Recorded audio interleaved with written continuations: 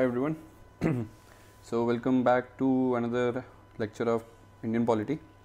ठीक है G S two so this is our lecture thirty seven और आज के लेक्चर में हम जो हमने प्रेसिडेंट रूल पढ़ा था प्रेसिडेंट रूल के ही कुछ और uh, मतलब इंटर रिलेटेड चीज़ें हैं वो हम क्लोज करेंगे जिसमें सबसे famous S R Bommai case जो कर्नाटका का केस वेरी फ़ेमस केस हुआ था जिसके अंदर जो सीएम थे उनको हाउस के फ्लोर पे अपनी मेजोरिटी प्रूव करने से पहले ही गवर्नर ने ऐसी रिपोर्ट भेजी कि वहाँ पे प्रेसिडेंट रूल लगा दिया, ठीक है? तो उस केस का सुप्रीम कोर्ट में क्या रूलिंग थी और जो कमीशन सेटअप हुई उसको मतलब उससे लेसन लेने के लिए या उससे चीज़ों को सीखने के लिए सरकारिया कमीशन का क्या रिपोर्ट आया, वो सब हम डिस्कस करेंगे आज के लेक्चर में. एंड द वेरी इंपॉर्टेंट मतलब एक आपका फंडामेंटली चीज़ों को और क्लैरिटी देगा मीन्स के परस्पेक्टिव से आपको कंटेंट मिलेगा। प्रीलिम्स के हिसाब से आपको कॉन्सेप्ट क्लियर होगा। वो है हमारा difference between article 352 and 356 that is your this is your national emergency and this is your president rule right president rule कह लो या स्टेट इमरजेंसी कह लो कुछ भी कह सकते हैं ठीक है? सो so, आज के लेक्चर में हमारे ये तीन प्राइमरी फोकस पे रहेंगे टॉपिक्स ठीक है? सो ये एस आर बमई केस आपका कर्नाटका में नाइनटीन एटीज़ का केस हुआ था ठीक है? तो ये चीज़ें हम आज के लेक्चर में कवर करेंगे ठीक है? और इन दो के बेसिस पे आपकी सुप्रीम कोर्ट की रूलिंग क्या आई थी? एस आर बमई केस और सरकारी कमीशन और जो अंडरस्टैंडिंग थी सुप्रीम कोर्ट की कि भाई आ, क्या जो प्रेसिडेंट रूल लगाते हैं ठीक है? प्रेसिडेंट जुडिशल रिव्यू में है या वो गवर्नर जो अलर्ट करते हैं प्रेसिडेंट को काउंसिल ऑफ़ मिनिस्टर्स को कि भाई यहाँ पे कॉन्स्टिट्यूशनल वर्किंग नहीं है तो क्या जो एक्शंस वो लेते हैं क्या वो जुडिशल रिव्यू का पार्ट है? जुडिशरी उनको किसी भी एक्शन के लिए आंसरेबल मान सकती है या फिर सिर्फ़ और सिर्फ़ जो रीजंस होते हैं, जो रिपोर्ट्स जाती हैं गवर्नर की साइड से सेंट्रल गवर्नमेंट को या प्रेसिडेंट को, सिर्फ़ उसके बेसिस पे ही आपका मतलब जुडिशल रिव्यू एनालिसिस कर सकता है और फिर ये कंक्लूड कर सकता है कि भाई प्रेसिडेंट रूल लगा जो वो कॉन्स्टिट्यूशनली वैलिड है या इनवैलिड है। तो ये सारी चीज़ें हम डिस्कस करेंगे, ठीक है? तो लेट्स बिगिन तो एस आर बम्बई केस में थोड़ा मतलब मैं पॉलिटिकल बैकग्राउंड दे दूँ। कर्नाटका का सीन हुआ था। कर्नाटका के सीन में गवर्नर जो थे उन्होंने बिना फ्लोर टेस्ट के ही जो सीएम थे सीएम को मतलब अपॉर्चुनिटी भी नहीं थी कि वो फ्लोर टेस्ट में अपनी मेजोरिटी प्रूव कर पाएँ और उससे पहले ही उन्होंने by cutting all the other provisions उन्होंने सीधा सीधा प्रेसिडेंट रूल का uh, मतलब प्रेसिडेंट रूल के लिए ये चीज़ सजेस्ट करा by saying that the constitutional working is not happening in Karnataka state ठीक है? तो ये मोटा मोटा था। मैं पॉलिटिकल पूरे बैकग्राउंड में नहीं जाऊँगा एस आर बम्बई केस के वो आप लोग जाके बुक मतलब कहीं गूगल से पढ़ सकते हो। बट हाँ इसका रेफरेंस आपके लक्ष्मीकांत के चैप्टर सिक्सटीन में भी मिल जाएगा, ठीक है? चैप्टर सिक्सटीन ठीक है इमरजेंसी प्रोविजंस के अंदर। तो जो हमारा पॉलिटी से रिलेटेड है, हम उसी को पढ़ेंगे, ठीक है? तो एस आर बम्बई केस में क्या था कि आपका स्टेट है यू हैव गवर्नर ठीक है? You have state council of ministers, and then you have state legislature ठीक है? और यहाँ आपका सेंटर बैठा है। सेंटर मतलब सेंट्रल गवर्नमेंट ठीक है? सेंट्रल गवर्नमेंट अब ये वाला जो केस था this became a very famous S R Bommai versus Union of India case ठीक है? अब उसमें केस डाला कि भाई जो प्रेसिडेंट रूल लगाया गया, वो इनवैलिड है कॉन्स्टिट्यूशनली सारी चीज़ें वर्क कर रही थी, हमें अपॉर्चुनिटी नहीं दी गई फलाना ठिमकाना तो उसके बेसिस पे जो भी आपका जजमेंट आया, सुप्रीम कोर्ट का जो फेवर आया तो फेवर नहीं बट हाँ उसकी जो एनालिसिस थी तो उसका बहुत ही एक इंपॉर्टेंट क्वेश्चन निकल के आता है कि ये S R Bommai versus Union of India के केस में जजमेंट जो आया, इस जजमेंट में सबसे इम्पोर्टेंट क्वेश्चन रेज हुआ। कैन अ प्रेसिडेंट और a governor be question for the action और द डिसीज़न दे टुक ठीक है? By being on their constitutional post ठीक है? तो क्वेश्चन की ये है कैन अ प्रेसिडेंट और governor can be question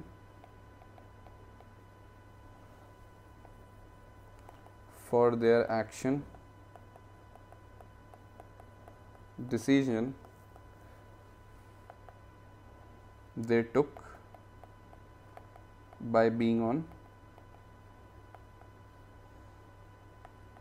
constitutional, ठीक है पोस्ट कॉन्स्टिट्यूशनल पोस्ट में मतलब बाय बीइंग प्रेसिडेंट और स्लैश गवर्नर ठीक है? तो क्वेश्चन क्वेश्चन का तात्पर्य क्या है कि भाई अब प्रेसिडेंट रूल के अंदर आपका इवेंचुअली प्रेसिडेंट ही इम्प्लाई करता है वो बात अलग है कि पार्लियामेंट से पास होता है और रिपोर्ट जाती है गवर्नर और इन्वेस्टिगेटिंग एजेंट्स की वो डिफरेंट चीज़ है। बट हाँ जो एक्शन लिया गया क्या उस एक्शन के लेने पर कोई भी जुडिशियल रिव्यू अप्लाई होता है गवर्नर और प्रेसिडेंट पर? मतलब भाई as a constitutional post president governor do they have any answerability to judicial to the judiciary for the action they took by being on that uh, constitutional post? The answer is no. By being the president by being the governor of any state अगर कोई भी एक्सपाइजेड person अपने discretion uh, के हेलो या अपने power के बाउंड्रीज़ के अंदर कोई ऐसा एक्शन लेता है जो कि जो भी जो भी एक्शन लेता है वो जुडिशियल रिव्यू का पार्ट नहीं हो सकता बिकॉज़ उसने वो एक्शन या वो जो डिसीज़न लिया है वो अपने कॉन्स्टिट्यूशन पोस्ट के दायरे के अंदर लिया है राइट तो ये सबसे बड़ा जजमेंट का जो मेन क्वेश्चन था, वो ये था, ठीक है? अब इसमें ब्रेक डाउन क्या हुआ था? देखो, जब भी कोई प्रेसिडेंट रूल लगाना होता है ना तो first you have a report report of governor ठीक है? At the time at the same time you have intelligence agencies right किसी भी स्टेट के कोरस्पॉन्डिंग ये दो लोग अपनी अपनी रिपोर्ट्स भेजते हैं सेंटर की काउंसिल ऑफ़ मिनिस्टर को, ठीक है? काउंसिल ऑफ़ मिनिस्टर्स राइट ये आगे जाके भेजते हैं प्रेसिडेंट को। मैं अभी चार्ट बना रहा हूँ कि कैसे कैसे फ्लो होता है और प्रेसिडेंट फिर आगे आपका जिस स्टेट के कोरिस्पॉन्डिंग ये लोग ने रिपोर्ट भेजा है, जो इस केस में हमारा कर्नाटका था, उस केस में ये प्रेसिडेंट रूल लगा देते हैं, ठीक है?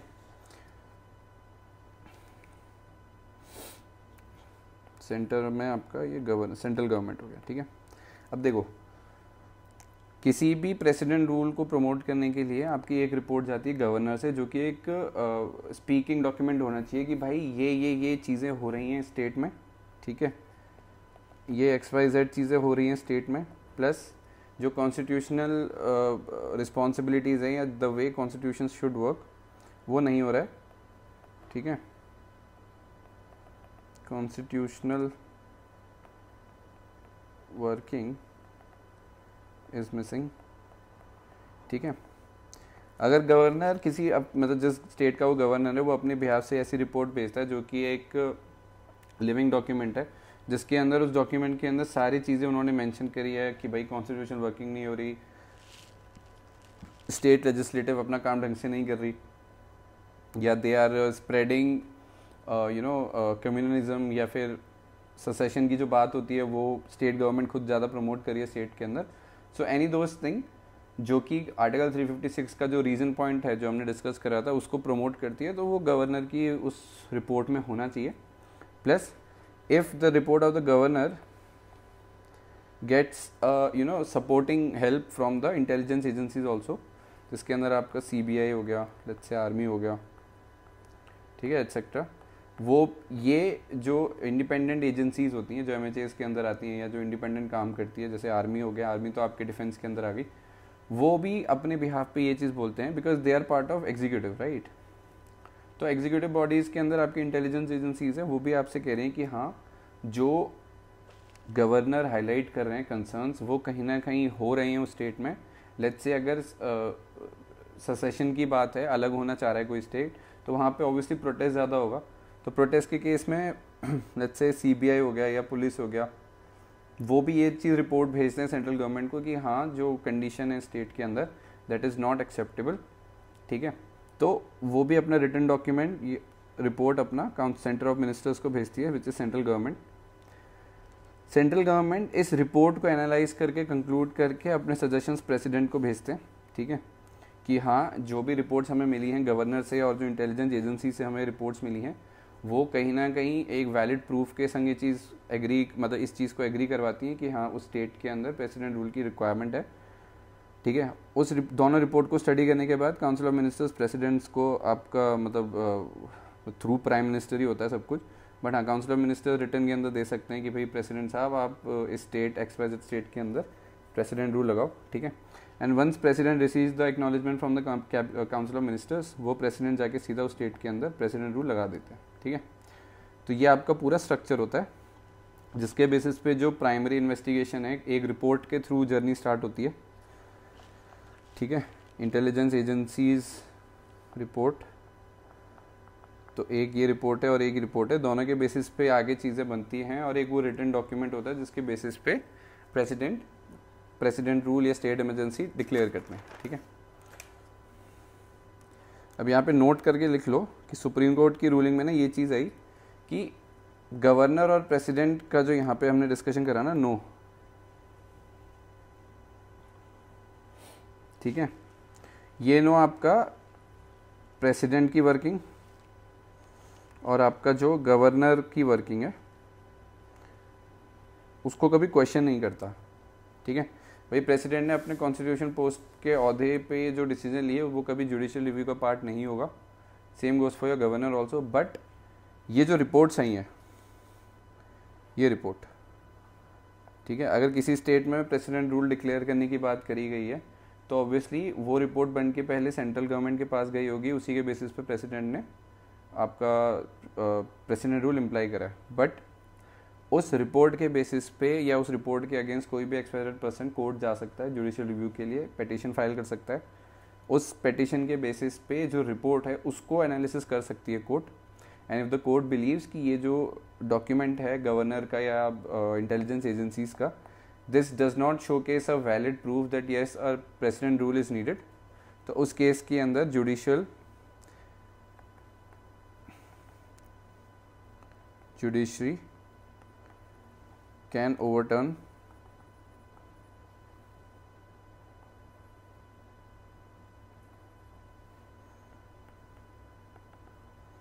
judiciary can overturn precedent rule implementation.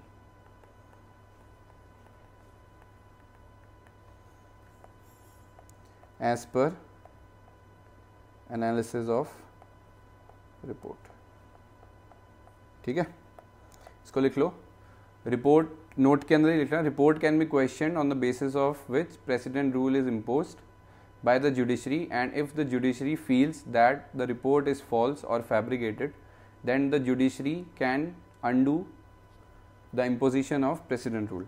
ठीक है? अब इसी टॉपिक के अंदर S I S R Bommai case के अंदर, इसमें कुछ जो सुप्रीम कोर्ट की और भी ऑब्जर्वेशन थी वो लिख लो तो सब पार्ट में सुप्रीम कोर्ट एस आर प्रमेय केस ठीक है? तो इसके अंदर सबसे पहले सुप्रीम कोर्ट ने जो ऑब्जर्वेशन करी कि बहुत जो प्रेसिडेंट की जो पावर है, वो एब्सोल्यूट नहीं है, ठीक है? Rather than it's a conditional power subject to the provision of the constitution ठीक है कि ऐसा नहीं है कि प्रेसिडेंट एक दिन उठे और उन्होंने बोला कि चलो आज उनतीस स्टेट में से दस स्टेट में प्रेसिडेंट रूल लगा देते हैं। ऐसा नहीं है। The condition in which the president rule can be applied और the reasons which can eventually lead to the implementation of president rule is very much clear and it should be as per the constitution only और अगर वो वायलेट होते हैं तो उसके basis पे ही आप प्रेसिडेंट रूल लगा सकते हो। ठीक है? तो इसको लिख लो। Power of president under article 356 is not an absolute power rather it is a conditional power subject to the provisions of constitution ठीक है? सेकेंड लिखो इसमें।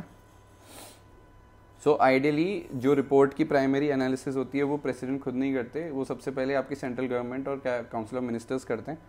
अगर वो सेटिस्फाई होते हैं उस रिपोर्ट के बेसिस पे कि हाँ यहाँ पे जो एक्स वाई जेड स्टेट है उसके अंदर आपका constitution machinery is getting failed and there is a very high need of implementing the president rule then only आपके council of ministers will suggest it to president and then president will impose president rule right उसमें लिख लो second point में it is not the satisfaction of the president but in real sense it is the satisfaction of the union council of ministers only on whose advice president can take action under article 356 ठीक है next लिखो obviously हमने discuss करा है कि imposition of president rule is always subject to judicial review वो बात अलग है जुडिशियल रिव्यू के अंदर आपका जो प्राइमरी रीज़न है, उसको आप चैलेंज कर सकते हो, ना कि एक्शन को. अगर जिस रीज़न से जो रिपोर्ट है, उसके अंदर जो रीज़न दिया गया है, अगर वो वैलिड है तो आपका जो प्रेसिडेंट रूल है, वो कंटिन्यू रहेगा. बट अगर वो रीज़न को जो कोर्ट ने एनालिसिस करा and if the court does not find those reason legitimate enough to imply president rule then judicial review simply आपका प्रेसिडेंट uh, रूल को कैंसिल करके आपका जो लेजिस्लेटिव uh, था स्टेट लेजिस्लेटिव थी उसको वापस रिस्टोर कर देती है ठीक है? तो इसमें लिख लो। तीसरे पॉइंट में imposition of president rule is subject to judicial review ठीक है? फोर्थ लिखो।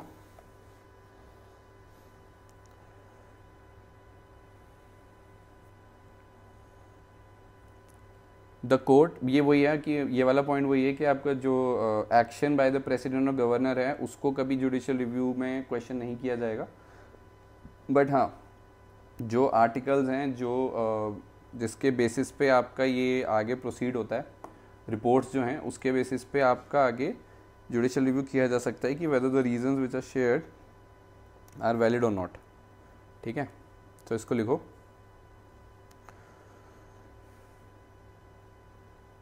the court cannot go into the advice given by the council of ministers to the president but it can certainly go through the material comma facts मतलब material आपका report हुआ material comma facts जो भी उस report में होगा report on the basis of which on the basis of which the advice on the basis of which the advice to put precedent rule was given and if the court finds the material facts irrelevant or false then the action of the president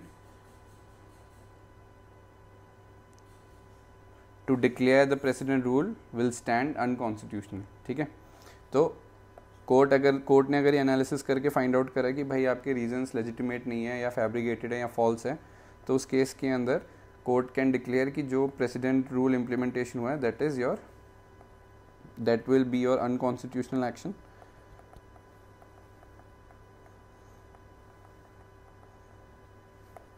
and then court can restore state assembly. ठीक है? पांचवा लिखो। the report of governor to the president must be a speaking document where it must clearly mention as how exactly the constitutional machinery in the state has failed और is not working ठीक है so the governor report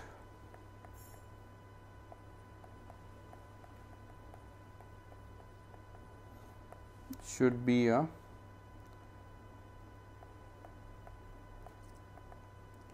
speaking document, ठीक है which should have which should have all the details which are necessary to take the action right छठा लिखो इसके अंदर।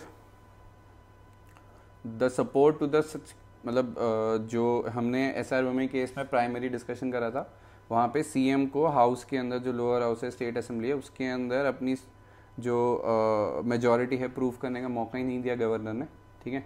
तो उस चीज़ को ऑब्ज़र्व करते हुए सुप्रीम कोर्ट ने डिक्लेयर करा कि भाई जो सीएम है C M should always showcase his power not his power but is majority you know on the floor of the house and not in the governor's chamber governor के अंदर क्या discussion हुआ, उसका कोई लेना देना नहीं है, ठीक है? But because the C M and the state council of ministers are representative of people तो they have to show majority और they have to prove majority in the house of the assembly ठीक है?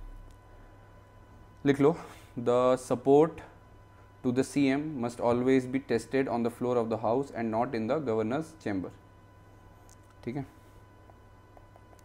Seven लिखो if the court comes to the conclusion that the imposition of precedent rule was unconstitutional then the court can even direct the revival of the state council of ministers and restore and restoration of state legislative assembly ठीक है तो ये पता होना चाहिए last lecture में भी discuss कर रहा था जब प्रेसिडेंट रूल इम्पोज होता है किसी स्टेट पे तो उस स्टेट का जो सीएम है वो सस्पेंड हो जाता है।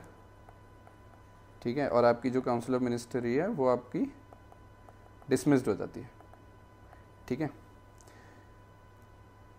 This uh, precedent rule gets passed in parliament दो महीने का टाइम होता है ना ठीक है सिंपल मेजोरिटी से। अगर ये पास हो जाती है पार्लियामेंट में तो ये आपका सब कुछ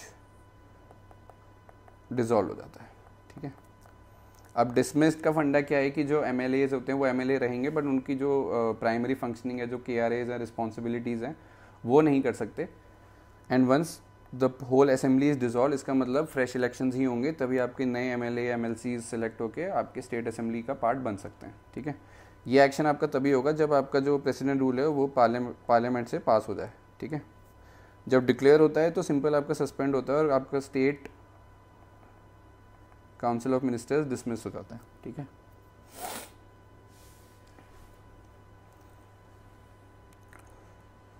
इसको लिख लो सेवन पॉइंट को। The dismissal of the state ये हमने मतलब if the court comes to the conclusion that the imposition of precedent rule was unconstitutional then the court can even direct the revival of the state council of ministers and and restoration of state legislative assembly next line change करके लिखो same में the dismissal of the state government and the dissolution of the state legislative should not be done should not be done simultaneously यहाँ जो हमने discuss करा ठीक है यहाँ पे आपके पास पार्लियामेंट में पास होने के बाद ही डिजॉल्व होगा उससे पहले आपका डिसमिस हो सकता है ठीक है तो लास्ट आपने लिखा the state legislative should not be done simultaneously full stop assembly should be dissolve only after the imposition of president rule is approve by both the houses of parliament ठीक है?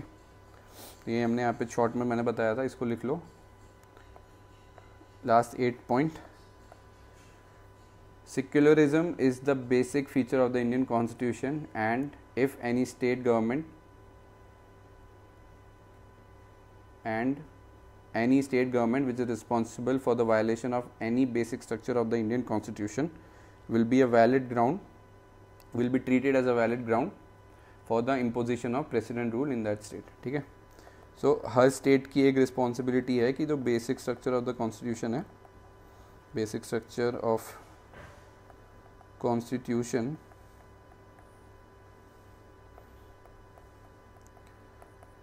should always work in every state ठीक है? और अगर जिस state के अंदर basic structure of the constitution ही काम नहीं कर रहा है तो it becomes a very valid ground of imposition of president rule ठीक है? सो ये आपका पूरा एस आर बमई केस था with respect to president rule ठीक है? ना comes to the second topic difference between article 352 that is your national emergency, and article 356 that is your president rule, ठीक है? तो इसको टेबल फॉर्मेट में बना लेंगे पूरा। दिस साइड इज़ योर 352 अब लिख लेना आगे, इसमें लिख देता हूँ president rule sorry national emergency यहाँ आपका 356 that is your president rule ठीक है? पहला लिखो। ऑब्वियसली इसमें it should be approved within one month and special majority ठीक है? फ्रॉम पार्लियामेंट यहाँ लिखो it should be approved within two months within 2 months and by simple majority ठीक है? बेसिक डिफरेंस है। नेशनल इमरजेंसी में आपका एक महीने के अंदर अंदर पार्लियामेंट से अप्रूवल चाहिए होता है विद स्पेशल मेजॉरिटी और प्रेसिडेंट रूल के अंदर आपका you have the time of two months to get the president rule resolution pass in the parliament by simple majority ठीक है?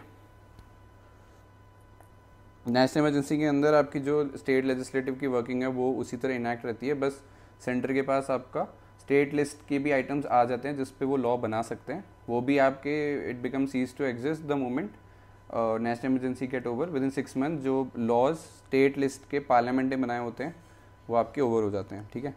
बट प्रेसिडेंट रूल के अंदर आपकी स्टेट असेंबली डिसमिस्ड भी होती है और फिर बाद में हो सकता है डिजॉल्व भी हो जाए। तो there is a very high impact of there is a very high impact in centre state relation right second point लिखो।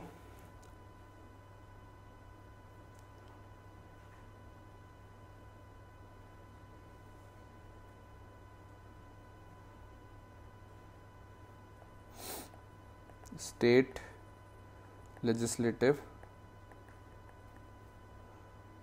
and executive continue to function ठीक है यहाँ लिखो state council of minister gets dismissed and state legislature is suspended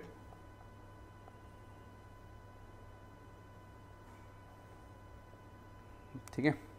मतलब इसमें लिख लो after parliament यहाँ से ब्रैकेट में लिख लेना, ठीक है? अरे, रुक जाओ। आफ्टर पार्लियामेंट अप्रूवल ठीक है? नेक्स्ट राइट तीसरा लिखो इधर। Relation between centre and all of the state, अगर नेशनल इमरजेंसी पूरे ऑल इंडिया लेवल पे लग रही है तो सारे स्टेट्स के संग सेंटर का रिलेशन है, वो इम्पैक्ट करेगा। बट प्रेसिडेंट रूल के अंदर हो सकता है किसी एक दो स्टेट या स्पेसिफिक एक स्टेट पे ही प्रेसिडेंट रूल लगे तो सेंटर और उस स्पेसिफिक स्टेट के बीच में थोड़ा रिलेशन इधर उधर हो सकता है बट बाकी के स्टेट्स के संग जो नॉर्मल सेंटर और स्टेट का रिलेशन है, वो नॉन इम्पैक्टेड रहेगा, ठीक है? तो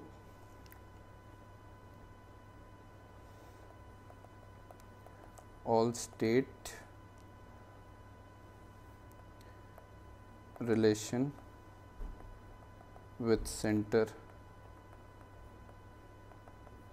will be impacted ठीक है यहाँ पे आपका आएगा specific state relation with centre will be impacted ठीक है? Excuse me sorry will be impacted ठीक है? फोर्थ लिखो. In national emergency there is no upper limit for which the national emergency can remain in operation ठीक है? चलने को बहुत सालों साल चल, चल सकता है छः छः महीने में एक्सटेंड करा के ठीक है? ये हमें पता है. No upper limit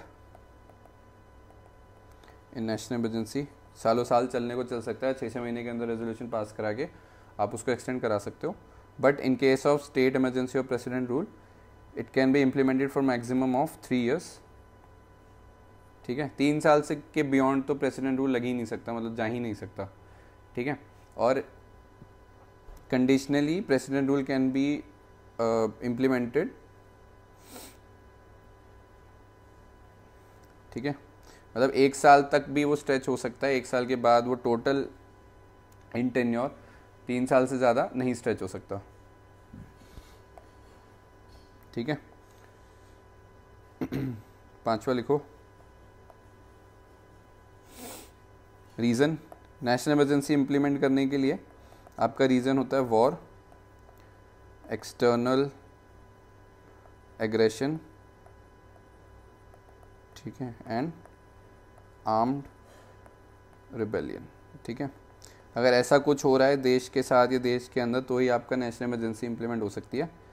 और इसका जो रीज़न है, वो आपका फेलियर ऑफ़ कॉन्स्टिट्यूशनल मशीनरी ठीक है? छठा लिखो।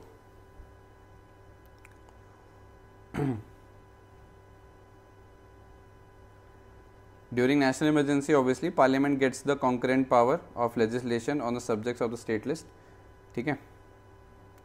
और uh, आपके इसमें प्रेसिडेंट रूल के अंदर parliament gets exclusive power of the legislative with respect to the state subject ठीक है? तो दोनों ही केसेस में पावर्स मिल जाती हैं बिकॉज़ प्रेसिडेंट रूल के अंदर आपके अंदर प्रेसिडेंट चाहें तो अपने सबॉर्डिनेट्स के थ्रू जो भी रूल्स इम्प्लीमेंटेशन है वो करा सकते हैं even on the state even on the subjects even for the subjects which are in state list ठीक है? तो इसके अंदर parliament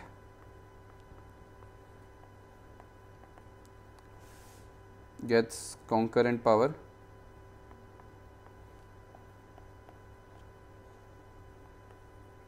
of legislation. On the subjects of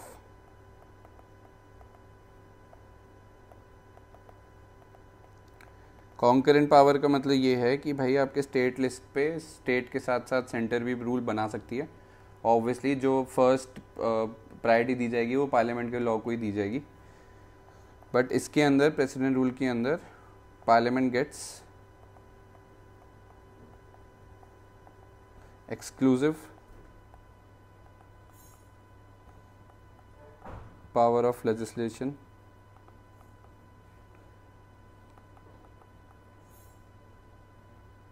with respect to state list ठीक है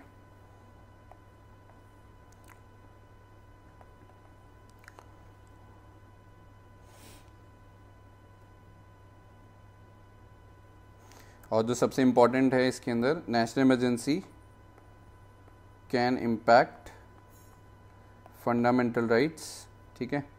और यहाँ पे आपका president rule does not impact fundamental right ठीक है?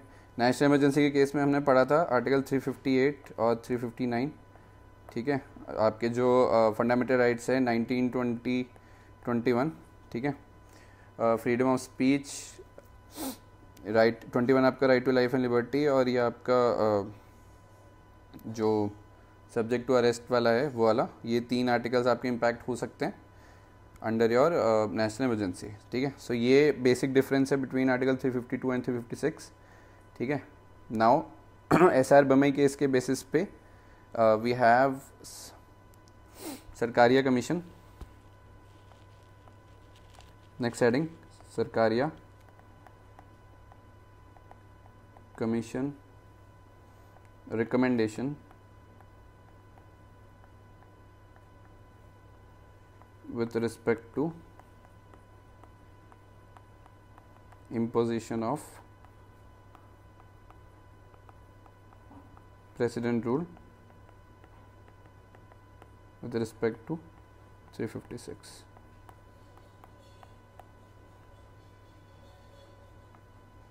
ठीक है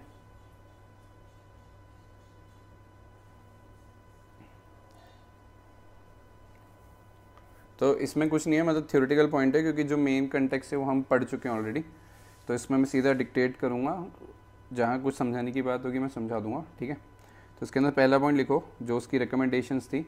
President rule in a state shall be impose only in exceptional circumstances after having after exhausting all the other alternatives to rectify the constitutional machinery in the state. Except where non imposition of precedent rule may lead to disastrous consequences, ठीक है? कहने का तात्पर्य ये है कि जो president rule अगर आप इम्पोज करना चाहते हो ऑन द नॉन वर्किंग या फिर फेलियर ऑफ़ कॉन्स्टिट्यूशन मशीनरी के लिए, वो ऑप्शन आपका सबसे लास्ट में होना चाहिए। उसके ऊपर आप लेट्स से सेंटर की कमेटी इम्पोज कर सकते हो या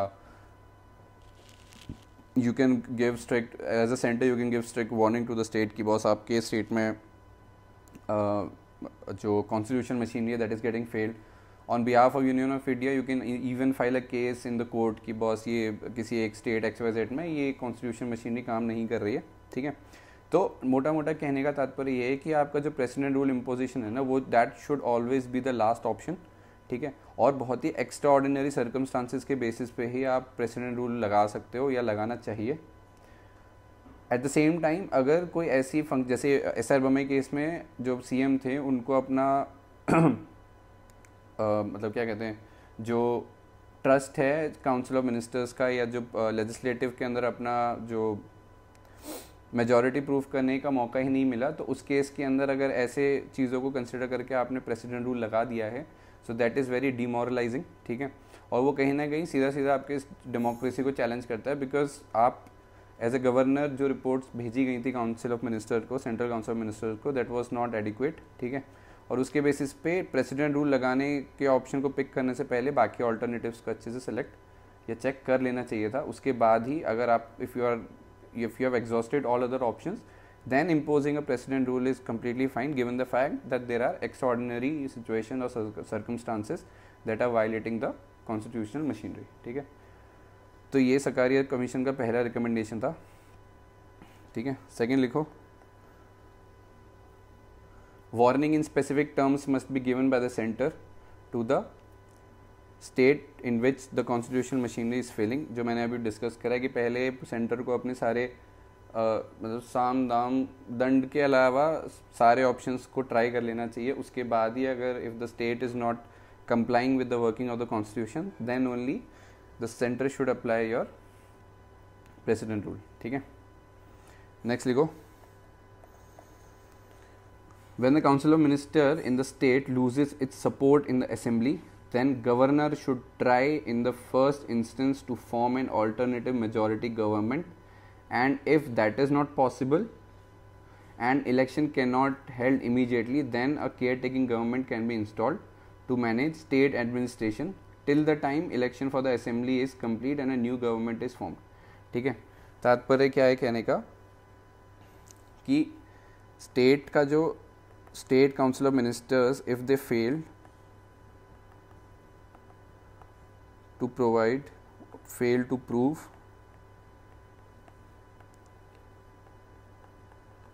majority in assembly then जो गवर्नर है rather than clearly going for president rule governor should opt for मतलब should ask other leaders if they have the option or if they have the support of other members also to come and form the governor to come and form the government ठीक है तो first case में governor should always should ask other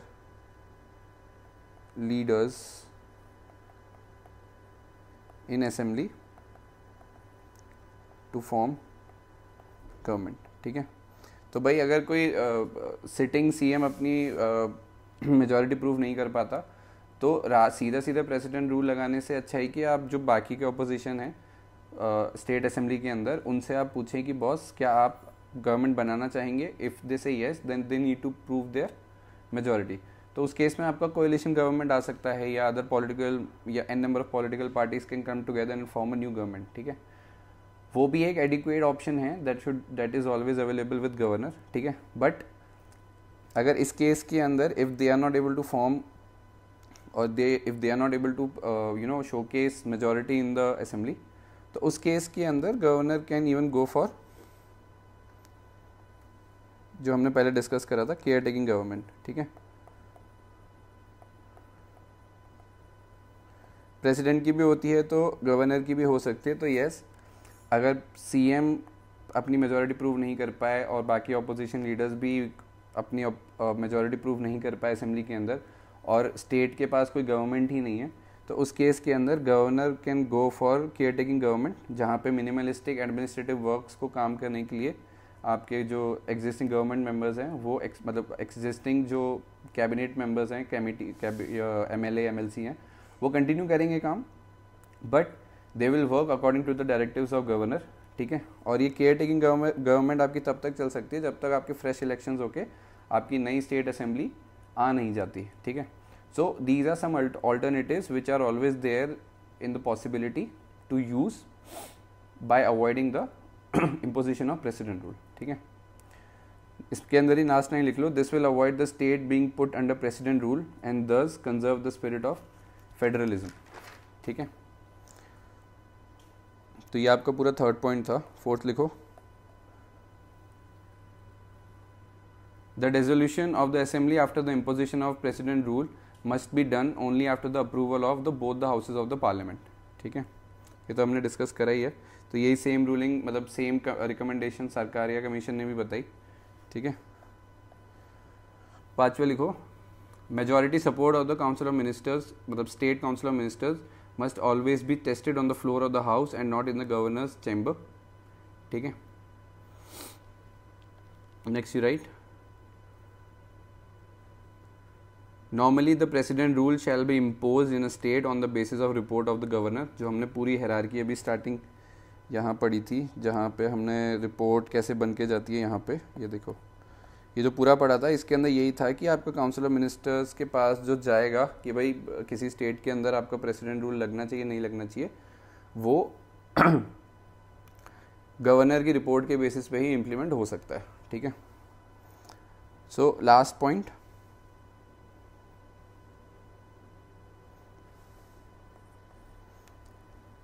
The provisions under Article 356 should be strengthened and should support the federal structure of our country and to prevent its misuse some safeguard mechanism should be put in place ठीक है तो some safeguard mechanism should be put in place to prevent misuse of article 356 ठीक है? तो इसके अंदर compare करो for example article 352 के लिए you have forty second amendment act right forty second forty fourth amendment act उसमें ये बताया गया कि बॉस प्रेसिडेंट के पास रिटर्न कन्फर्मेशन होना चाहिए central cabin council of ministers का टू टू मतलब through which they are stating and they are there yes there is a need of national emergency तो वो चेंजेस इम्प्लीमेंट करे गए थे as a safeguard mechanism so that prime minister council of ministers को avoid करके सीधा president से national emergency ना लगवा दे, ठीक है? तो such provision should all should also be added in case of article 356 also ठीक है? So this is all for today ठीक है? नेक्स्ट लेक्चर में हम क्या डिस्कस करेंगे? आपका पूरा फाइनेंशियल इमरजेंसी ठीक है? 360 आर्टिकल पूरा कंप्लीट हो जाएगा and probably that would be the end of this whole emergency part क्योंकि हम नेक्स्ट टू नेक्स्ट लेक्चर में part five of constitution that is your judiciary very important topic high court supreme court सारे article सब हम बिल्कुल fresh topic होगा तो मज़ा आएगा उसको पढ़ने में। ठीक है? So next lecture would be your last lecture in terms of emergencies उसके बाद हम जुडिशरी स्टार्ट करेंगे पार्ट फाइव ठीक है so I hope you found this video informative ठीक है प्लीज़ रिक्वेस्ट है लाइक शेयर सब्सक्राइब ठीक है और hit the bell icon also please ठीक है क्योंकि अब रेगुलरली लेक्चर्स अपलोड हो रहे हैं रेगुलरली आपके पास टाइमली बेसिस पे लेक्चर्स आ रहे हैं एक, दो दिन मतलब आई थिंक कल मैंने एक वीडियो अपलोड करा था, जिसके बाद मैंने एक ब्रीफ इंट्रोडक्शन दिया था कि इस मतलब पॉलिटी खत्म होने के बाद हम दो लेक्चर या मैक्सिमम तीन लेक्चर के अंदर disaster management of G S three will close because वो छोटा टॉपिक है तो मैं नहीं चाहता उसको लास्ट में रखा जाए. Plus polity is a heavy lifting exercise अच्छी, खासी कॉन्सेप्चुअल बिल्डिंग है प्रिलिम्स मेंस के हिसाब से. तो इसके अंदर बहुत ज़्यादा ब्रेन ड्रेन मतलब बहुत ज़्यादा ब्रेन एग्जॉस्ट होता है चीज़ों को समझने में. तो यस इसके बाद किसी एक हैवी सब्जेक्ट को उठाने से पहले हम बीच में एक छोटा सब्जेक्ट उठाएँगे, जिसमें हमारा एक मतलब एक सेंस ऑफ़ अचीवमेंट होता है कि बट बट कि ठीक है, एक जी एस थ्री का एक पूरा सब्जेक्ट था, वो हमने क्लोज कर लिया तो that will eventually boost our confidence also ठीक है? तो अभी इसमें है पॉलिटी में दस लेक्चर्स के आसपास, दस ग्यारह लेक्चर्स के आसपास, ठीक है? And after that will simply move to disaster management तो ठीक है? प्लीज़ आप में से कई लोग वीडियो देखते हैं बट सब्सक्राइब नहीं करते so it's a humble request please subscribe also थोड़ा सपोर्ट मिलेगा तो we can also grow further ठीक है? So I hope you I hope you found this video informative like share and subscribe ठीक है? Please hit the bell icon and keep learning keep studying and keep doing the hard work thank you for watching and I see you the next